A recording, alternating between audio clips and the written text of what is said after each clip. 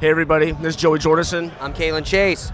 We're from, we're from Vimic, Vimic. and you're watching Loudwire.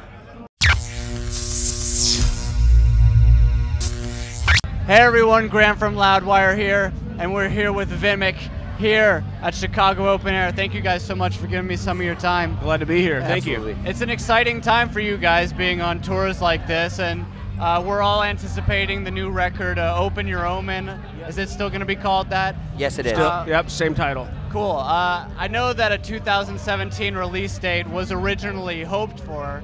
Is that still going to happen?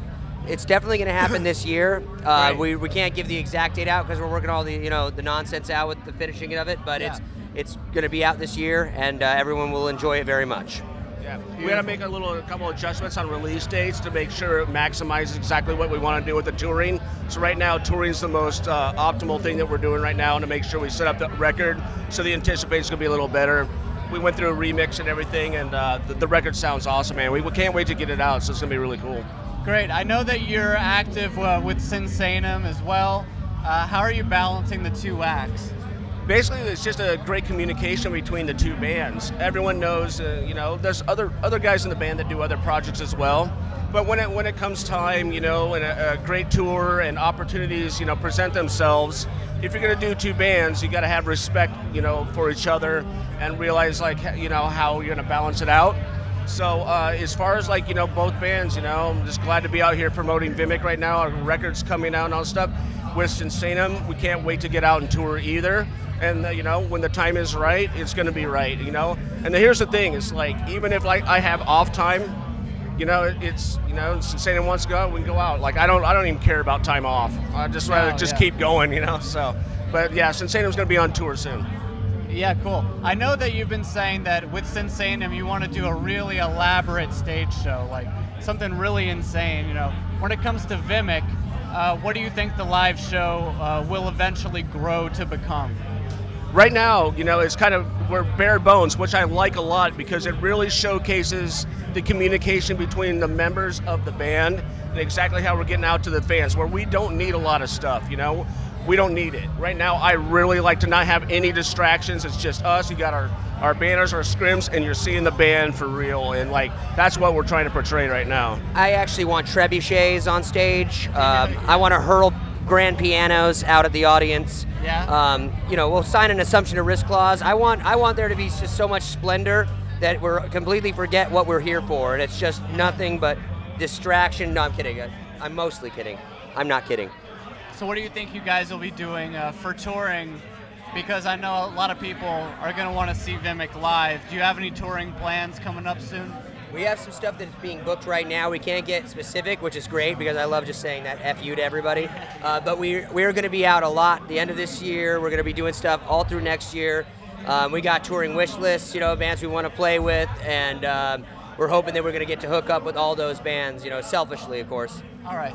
Uh, but is anyone confirmed yet? I know you don't want to name names, but We can't yet. We Can't name names can't. yet. There's there's a lot of, you know, um, I could lie. I just invent something. sure, go Yeah. ahead. All right, we're touring with the Virgin Prunes. I've never heard of them. Ha ha! All right. Yeah. No, we're, we, as soon as it's out, you guys, everyone's gonna know. But we gotta finalize everything But you got something real cool coming. we got a lot of really cool things coming. All right. Well, obviously, you know, everybody knows Joey's uh, very extensive musical lineage. I want to hear more about your musical lineage.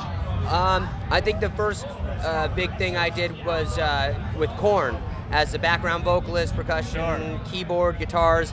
I joined them in 2006, and Joey actually joined in 2007, which is where we met. That's right. That's right. So I, I did that for about three years. Joey was in there in 2007. That was our favorite favorite time for me, in, as far as the band. And we and we struck a friendship, and we always used to uh, joke, but then not really joke that we wanted to do a band together. And it took us a decade because we know we had things to do. Um, but yeah, that was that was the big thing. And then after that, I went to Hollywood and, and started teaching. I was teaching music and uh, just doing production gigs. And he called me up and said, "Hey, do you want to be in a band?" Before we finished band, yes, Yeah, of course. yes, I do. Yes. Yes is the correct answer. Yes, so I want to play with my best friend. Yes, I do, very much. It was, it was a no-brainer, but I have to say honestly, and Kalen knows this. It was like, and all the guys in the band. I'm like, I know the guy. I know the guy that we need. And it was one of the hardest decisions I made because one of my best friends, and I didn't want not want to disappoint him whatsoever. And I just, and I'm like, I, finally, I was just like, I know the guy, and I just gave him a call. He came in, sent him some songs, went in the studio, demoed it, and I'm like, killer. It was just, it was perfect. So I know that uh, Joey, with your career, you've dabbled with all different kind, kinds of music, some real extreme stuff, uh, some stuff that's more rock based, you know, Murderdolls, stuff like that. What can people expect the sound of Vimic to be once they finally get to listen to this record? Uh, the best thing about this is there's no limits or there's no boundaries about what we want to do. The thing is, you know, we keep our music open-ended enough. It will always be metal. It will always be extreme and hard. But and when I say extreme, a lot of times that has to, that comes along with melodies as well, or or different you know styles of music that we incorporate within our metal roots. So there's not a, a necessary like formula.